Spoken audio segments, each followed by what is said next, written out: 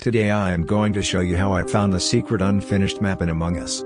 And how deep the Among Us rabbit hole goes. It's Friday night and a user of the Among Us subreddit asks this. I heard there was an unfinished map with the Skeld, has anyone heard or seen this map? There were a lot of responses.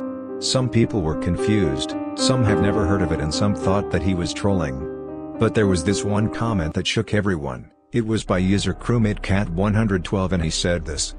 Yes, I heard of this map before, I think someone talked about it here. After days of searching for what crewmatecat112 talked about I stumbled upon this.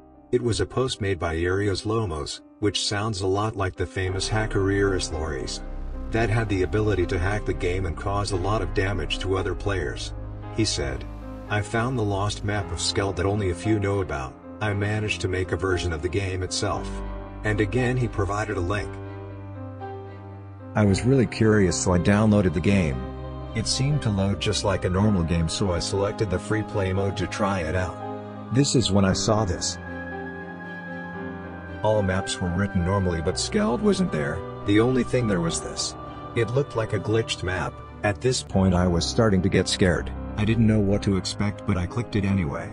The game loaded me in and already I could see that parts of the map were missing. I walked around and looked if this is the lost map I was looking for all this time, I was so happy I finally found it. I ran around the map to see the rest of it. Finally, my search was completed. But that left me with a lot of questions, why does this map exist, who made it and does it have anything to do with the famous hacker Eris Loris?